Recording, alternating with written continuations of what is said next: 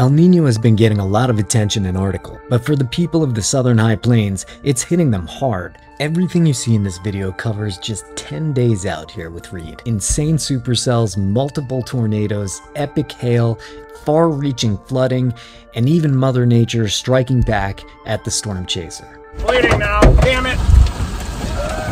I'm here in the beautiful southern high plains just as El Nino is starting to crank. And even though the Weather Service is not officially calling it that, we're already starting to see some major impact. El Nino is when warmer waters gather south of the US at the equator. It happens somewhat sporadically every few years, and when it does, it has a huge impact on the US's weather. Watch here.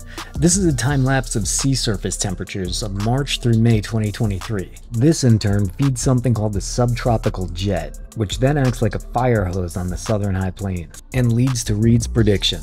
I'm expecting round after round of insane mothership supercells.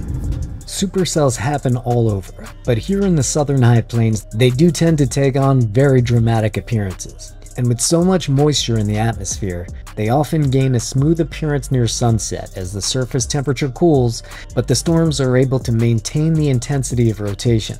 After sunset, stunning lightning displays show off insane structure. Man, that ring.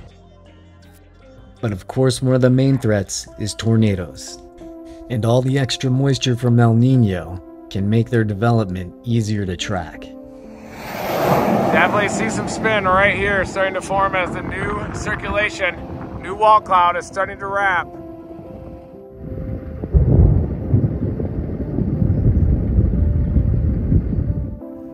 There's the nub. Probably already on the ground. Getting lower. It's going to be a nice one.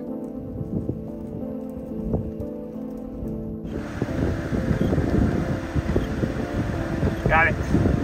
Right there. Tornado. This is a nice one. Look at it push. Debris cloud on it. High plains insanity. Long tube. Look at that thing. The tornadoes during this stretch on the high plains were few and short-lived, but the hail was absolutely epic.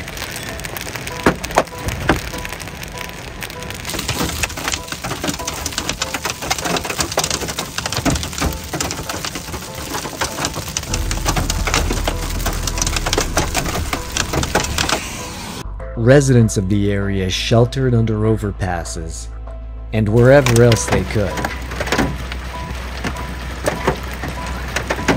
But Reed drives headlong into hail cores. Yeah, keep an eye out for that dirt. Watch out, too.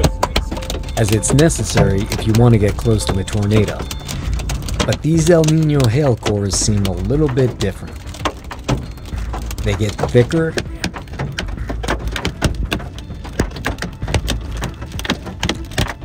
thicker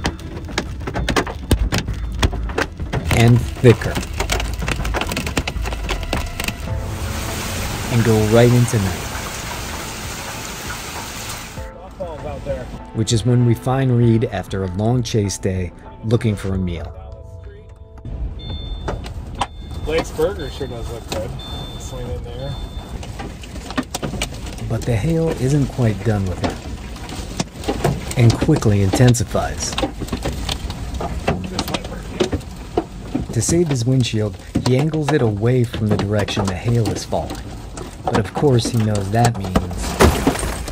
Just broke my window out! Damn it! Damn it! His back window took the brunt of it. And as he's assessing the damage,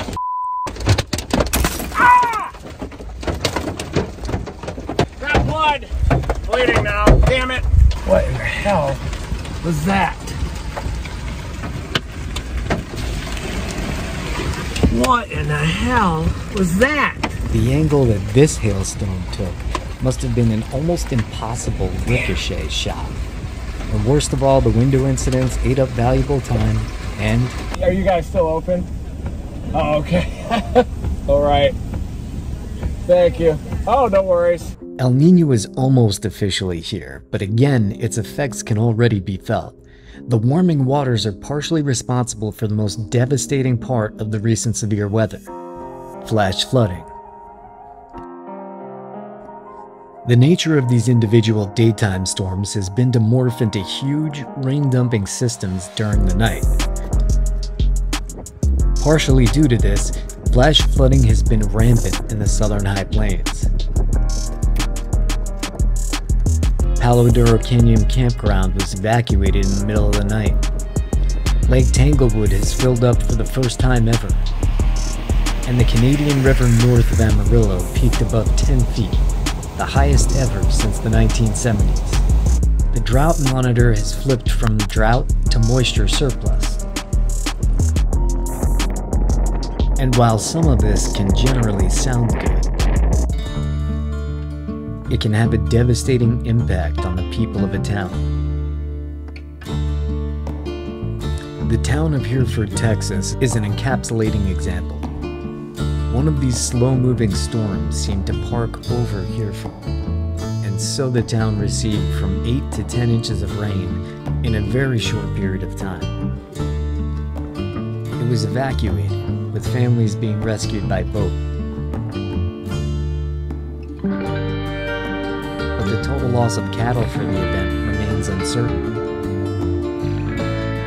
It's been estimated anywhere from 3 to 10,000 head have been lost And it's been called a 1 in 100 year event.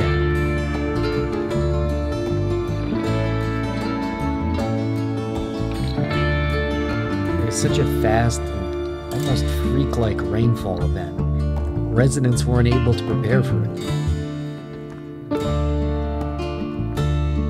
The last record warm year was in 2016, which also had a strong El Nino.